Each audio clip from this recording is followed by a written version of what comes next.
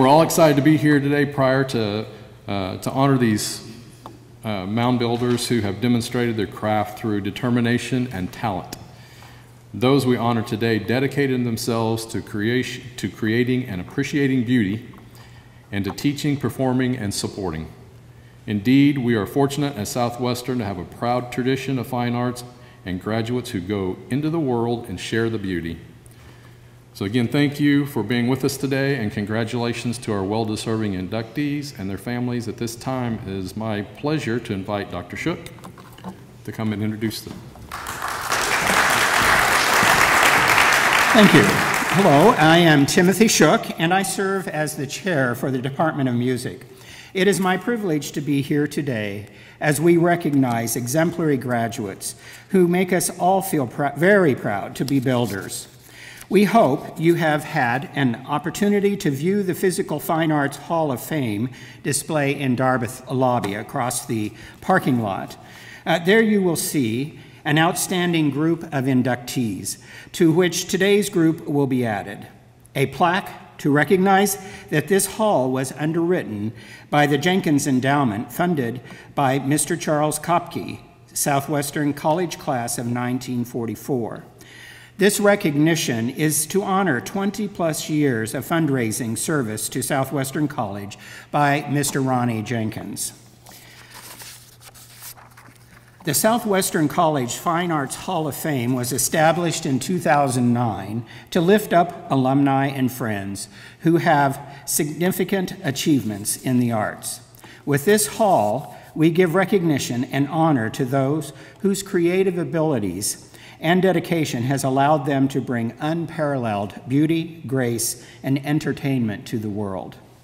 For that, we recognize these worthy individuals for their efforts. On behalf of the Southwestern College, it is my privilege to pre present this honor. I would like to call your attention to the beautiful glass awards that you see right here. Uh, these handmade awards are given annually to Fine Arts Hall of Fame inductees. They are handcrafted by Mr. Scott Hartley, who fittingly is not only a graduate of Southwestern, but also a member of this Hall of Fame. Scott has for several years been the artist who creates the Hall of Fame awards. As a Southwestern science major, Scott went on to use his artistic talents and his knowledge of science to become a master glass blower. We are fortunate to be able to give these unique gifts to our inductees to permanently remind them of their honored place in our hall. Our first inductee this morning is Misty Maynard, class of 1975. Misty was born and raised in Winfield and received her undergraduate degree from Southwestern College. She learned, as she later earned a Master of Arts degree in theater from the University of Kansas. She worked out of the Bowlus Fine Arts Center in Iola, acting as a communications link between art councils in nine counties, the Kansas Art Commission in Topeka, and professional artists and touring companies as the program coordinator for the Southeast District of Community Arts Councils of Kansas. Misty was the executive director of the Pittsburg Area Arts and Crafts Association, where she advised and aided the board of directors on administrative matters, organizational structure, and on selecting, implementing, and evaluating programs and projects. She was an artist in residence through the Kansas Arts Commission in Topeka before she began teaching as an adjunct instructor on the college level and now has over 35 years of college teaching experience. Misty owns and operates the Kechi Playhouse, a little theater housed in what was a Methodist church in Kechi. The business has been operating for 38 years the 100 year old building underwent a major rehabilitation in 2019 thanks to a federal community development block grant. She has written eight full length plays and is a Kansas Writers Project Fellow.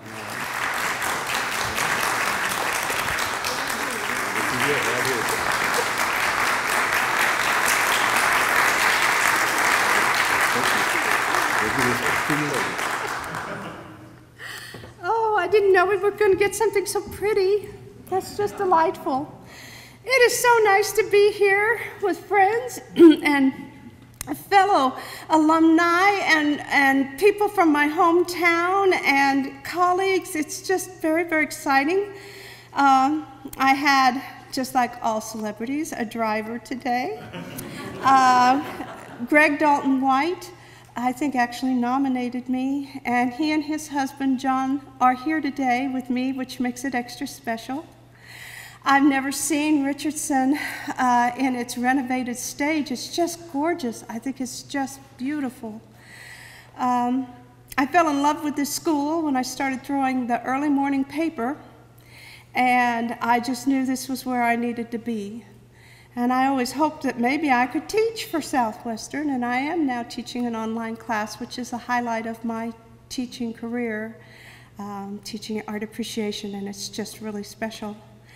The building um, that was mentioned was in distress. Uh, bricks had actually fallen down out of the wall, on the outer wall, and uh, they don't list waiting for your building to be condemned as a reason for depression, but it is. and the city said, no, we're not going to let this happen. The city of Kechi, which is just, just 10 minutes outside of Wichita. I hope you'll all come up this summer. And um, they found this grant, and it now is stronger than it was when it was built. That's what I've been told. And the outside is just beautiful. It's just very, very small theater, and this will be our 40th year in business. So uh, we're very excited about that, and I'd be glad to see any of you at any time, and thank you so very, very much.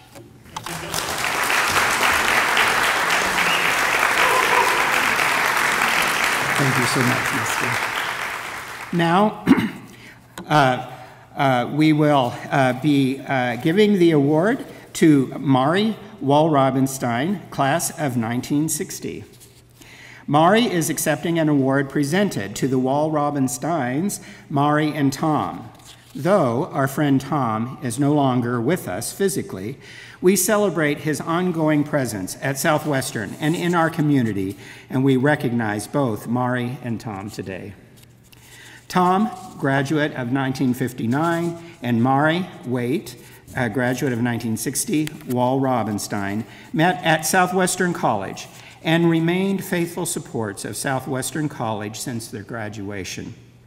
They moved to California, where Tom graduated from Claremont School of Theology but returned to Winfield when President C. Orville Strohl made Tom the first paid alumni director of Southwestern College. Working throughout the nation, Tom recruited students, interviewed prospective faculty, and encouraged financial support among alumni. The Wallrabensteins left Southwestern in 1965 to pastor churches in California, Hawaii, and Arizona. In 1975, they returned to Winfield, this time with Tom serving as a development officer at Southwestern College. This meant a homecoming for Mari.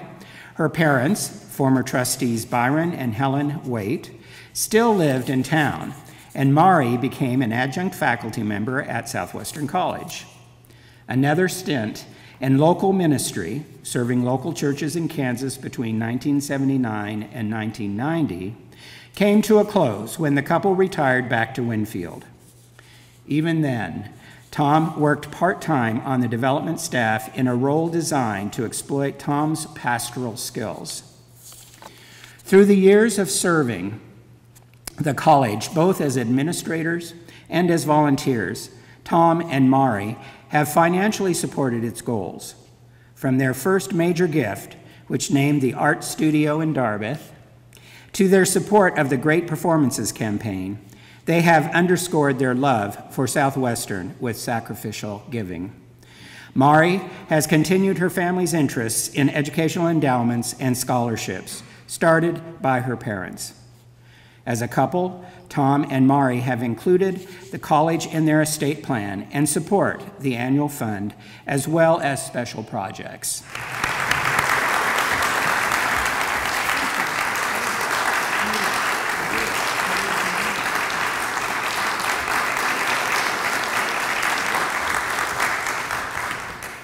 It is an honor and privilege for us to be a part of the Fine Arts Hall of Fame today. Forgive me for using the plural pronouns we and us, for as you now know, my late husband Tom is not with us in body, but I can assure you he's here in spirit. For this honor is as much his as mine. Our support of the college through the years has always been a partnership of 110%. For many months now, I have been reflecting on how two people named Tom and Mari have arrived to this place in this time. For neither of us have ever been in a play. Neither of us have ever played in an orchestra or sang in a choir. I have created objects of art and I collect art, but only for display in my home. So if we haven't participated directly or personally in the fine arts, where does that leave us?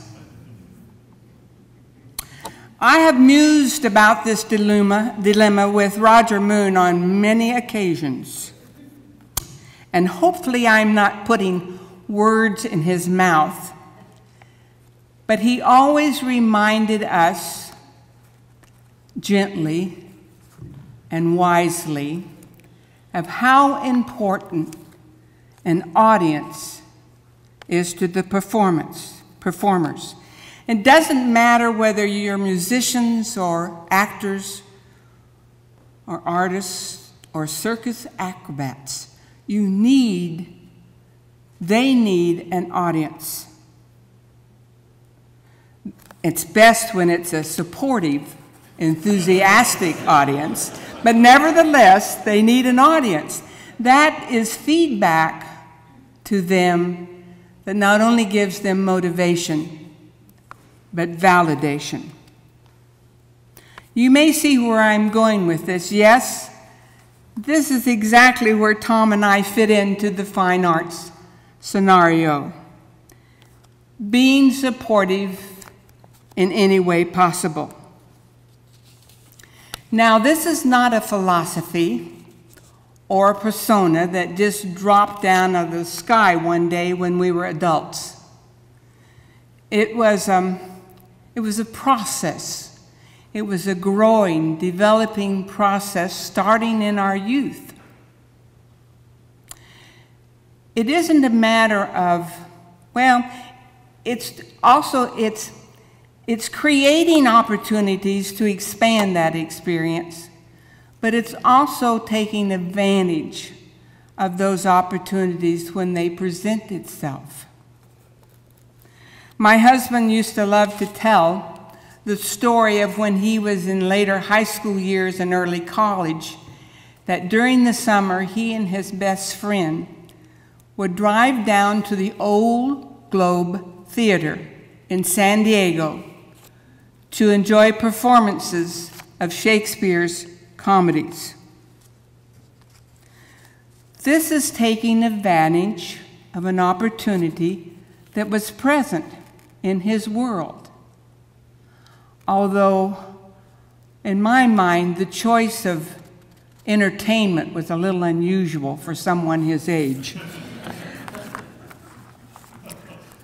Likewise, in my youth, I must have been about 13 my parents arranged for me to have art lessons. Now, these weren't the usual art lessons of sketching and drawing and painting still lifes. Oh no. Every Saturday morning for a year, I went to the teacher's home and studio. And in, during the morning, with her guidance, I was to create an art piece out of whatever medium she chose. And this could was everything from pebbles or sand from the nearby river to finger paint to twigs or leaves from the trees around her house, to beads, to lace, to fabric, you name it. We worked with it. What a tremendous foundation that laid for me. It unbounded my own creative processes, began to make me sensitive to light and shadow, texture, color, and most of all, it made me aware of the beauty of God's creation. Such experience con experiences continued for us into college years, particularly for me, here at Southwestern. Both the experiences I'm going to share with you took place in this very building. In those days, and it wasn't quite the dark days, but it was back in 1959 and 60, um, the college could contract, or maybe there was an entity that contacted the college. I'm not sure which way it went. But they could contact to be up and coming, to bring up and coming um, artists to the campus to give concerts. I still remember the feelings I had after attending a performance in this very auditorium of an up and coming opera star by the name of Leontyne Price. And Frieda knows who I'm talking about. It, it was awesome. It left a marvelous impression on me. Now, the other experience I share with you is at the other end of the spectrum. I spent many hours on the third floor of this building at the north end where the art department and the art studio was located. It was a one man department, and that person, professor, was Dennis Aiken, who's already been inducted into the Fine Arts Hall of Fame. And he was kind enough to mention my name in his remarks. I took every class that was offered in that discipline. In fact, Dennis Aiken and I created a couple of independent studies so I would have a knowledge and acquaintanceship with art history. That's how I ended up having a minor in art when I graduated from Southwestern. But now I want to share a really valuable lesson out of that experience. The art department never had enough money for supplies. And so Dennis Aiken, I worked a lot in big mosaic projects. Dennis Aiken went out and found on some place on this hill a vein of clay, and he would dig a bucket full, come in, we would add water to it, take off our shoes and socks and roll up our pant legs and squish, squish, squish, squish. We would mix the water with the clay and send it through the sieve several times. That's how we got not the greatest quality, but it was workable for the mosaics.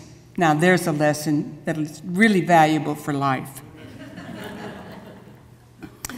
I attained my very first job after I graduated and Tom and I were married, not because of my major, but because of the liberal arts education I had received here at Southwestern. It was because I knew the difference between Mozart and Rachmaninoff and Picasso and Rembrandt. When we were first married and living in California, when Tom was in the School of Theology, uh, one year, I think it was, I don't know whether it was Christmas or an anniversary, we decided to give each other tickets to an aspect of the fine arts that we were not acquainted with. He gave me tickets to an opera, and I gave him tickets to a ballet. We have enjoyed, we enjoyed many performances at those venues throughout our life's journey. That was an opportunity created by us. These types of experiences continued for us throughout our life's journey. I will say that four years in Hawaii allowed us to become acquainted with five different cultures. Talk about an enriching experience. All of this began to come together as we approached our retirement years. We returned to Winfield and to the college. We both continued part time employment, but during these years, we made a very conscious decision to travel. To travel as much as time and money would allow us. And boy, did we travel. Uh, it included everything from May terms, college students and faculty going to New York, Israel, England. It included many host- elder hostels to the largest metropolitan cities of our nation, like New Orleans and Chicago, San Francisco. It even included a bus trip from Missouri to Oregon following the Lewis and Clark Trail. And it included many, many river cruises throughout Europe, Eastern Europe, and Asia. Every, once we learned how to get around New York, Tom and I went often on our own, um, not only to be saturated with music theater, but we made a conscious decision every time we went to choose a new and different museum to visit. This was taking advantage of opportunities presented to us. All of this only increased our enjoyment and appreciation of the fine arts. We were fortunate enough in these retirement years to expand our participation enjoyment from the audience to other things, to sponsor concerts of the symphony, to sponsor summer plays, to create scholarships, and name a building. That the high point was really the dedication of the Tomari Center, and I'm going to close with one little story about the naming of that building. It doesn't take too much for you to see where it came from, but there's a story behind that. I can see the late afternoon meeting when Dr. Merriman and Tom and I were sitting around our dining room table. We had concluded the necessary business for our support gift for the naming, and we're talking about the other things as well as the name. And in my forthright manner, I turned to him and I said, Dr. Merriman, there is no way we are putting Wallrabenstein on that building. I said, I love my married name. And it's been a conversation piece for 60 years, but it is too long, too difficult. That building will either end up with no name or a nickname. I said, I've got an idea, let me play around with it for a little bit. For you see, Tom and I were around when the wonderful Performance Arts Center just to the north of Richardson was being built. The couple, Mr. and Mrs. Wells, were from Oklahoma. He was on the board of trustees, and they were very good friends of the Strohls. And they gave the gift for the naming of that center. As you know, it's not called the Wells Center. they took the first part of his name, and her given name was Elizabeth, but they called her Beth. His name was Darwin, and they took Dar and Beth and put them together. And that's how it got its name. I thought, aha, here's an idea. Um, I played around a little bit with Thomas, but that was too formal. Marianne is my given name, but nobody knows me by that. I've been Mari for 60 years. So I started putting those together and came up with Tomari. I thank the college and the Fine Arts Department again for the honor they have bestowed upon us. Thank you.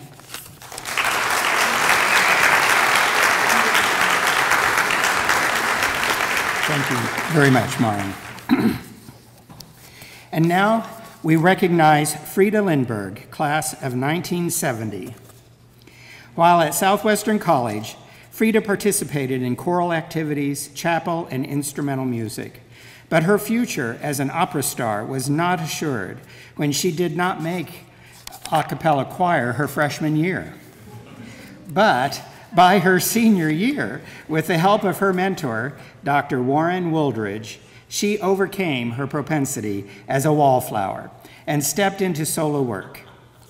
She rounded out her senior year with induction into the school's music honorary, Mu Phi Epsilon, starred as Mary in Eagerheart, performed as soloist with the choir frequently, and including various oratorios performed by the choirs, and had the honor of being selected as one of 10 semifinalists for Wichita Symphony Orchestra's Naftzger Young Artist Auditions and Awards. Upon graduation, Frieda taught junior high school music before discovering her real passion in performance. In 1971, Frieda moved to Munich, Germany, to study with opera masters including James King, Hans Hotter, and Heinz Imdahl. She also studied with Gernot Acting Studies and attended the Munich Music Academy. After her years of study, Frieda began her prolific career as an opera performer. She was well known for her veracity and tenacity, singing some of the most difficult, both in endurance and technique, roles in the repertoire. Frieda has performed with the State Opera of Kiel, the Opera Houses of Trier, Augsburg, and Saarbrücken, the Offenbach Theater, the Winterthur, uh, which is a premier opera tour of France, and the Heidenheimer Festival, which was featured on German national television's Aspects of Culture. While performing in Germany, Frieda was the guest of honor for Southwestern College's 100th anniversary, performing a solo recital and as so soprano soloist in a special performance of Haydn's creation. Frieda began a teaching career in 1987 at the University of Kiel. In 1994, she returned to the United States and taught voice at Southwestern College, Bethany College, and gave master classes at Kansas State University, while maintaining membership in the National Association of the Teachers of Singing, commonly known as NATS. Frieda returned to Germany in 1998 and taught private lessons until her retirement in 2005. She enjoys a post retirement career as a dog trainer.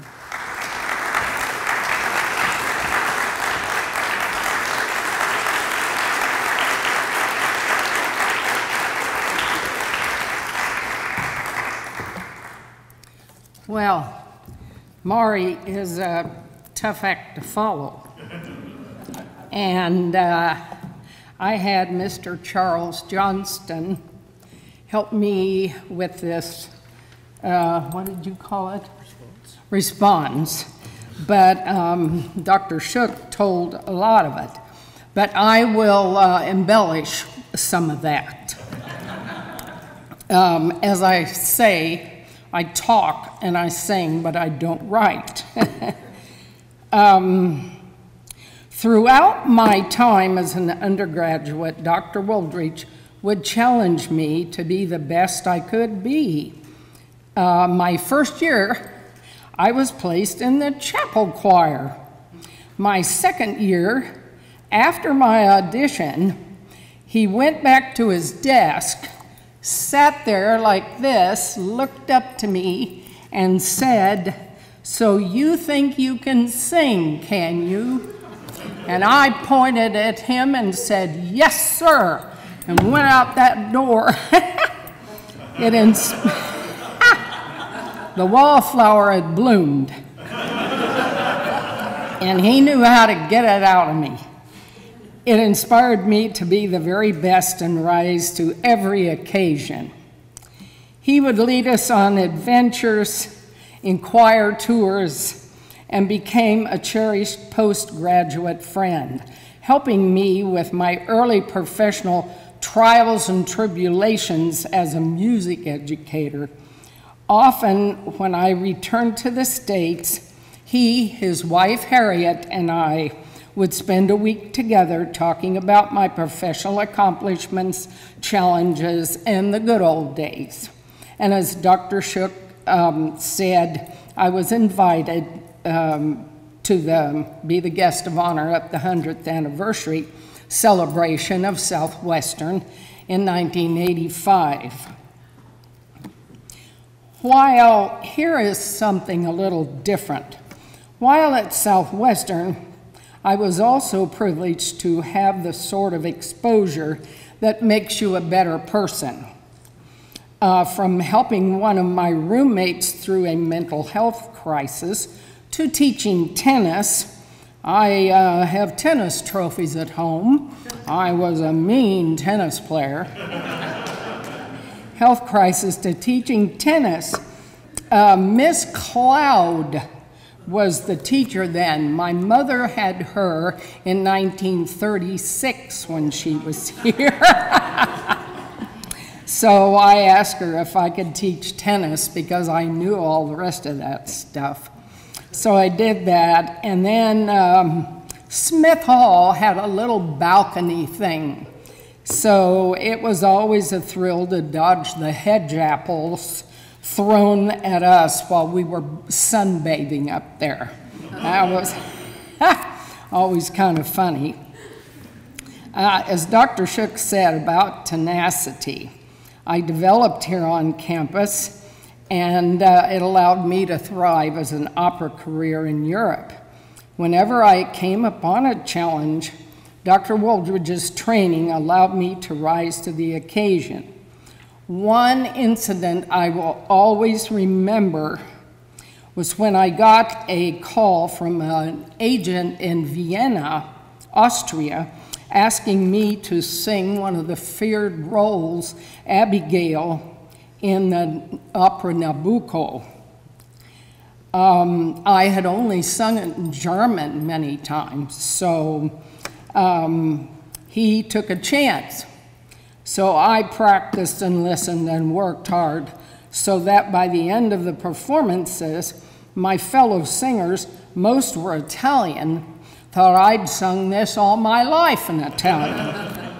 um, it was wonderful. Oh my gosh. Um, so then I was also called to substitute for an ill performer on a 24 hours notice for a concert version of the Magic Flute. I learned and committed also to memory a duet and two arias, including one that included the holy grail of the opera performance, the High C, which I was known for here in choir. We sang a Negro spiritual, and uh, Jim Graves and I hummed five high C's. And uh, if anybody wants to hear it, we made a record and uh, they have a CD somewhere. Um, so, anyway, um, coming back and serving on the faculty in 1994 was one of the joys of my life because I was able to share all of these experiences with the next generation of musicians here at Southwestern. Charles McKenzie, a private student of mine, was touched enough by my time that he nominated me for this great honor. The only thing one can hope for in life is to make an impact on your part of the world, as Mari had pointed out. And I'd like to think my induction into the Hall of Fame pays tribute to my time trying to do just that. I graciously join the ranks of the Southwestern College alumni who have touched the world of the performing arts in their own unique way. Thank you very much.